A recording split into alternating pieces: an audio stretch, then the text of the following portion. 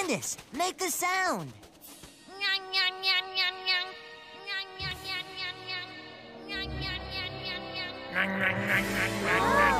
It's him. I wish I could unsee that.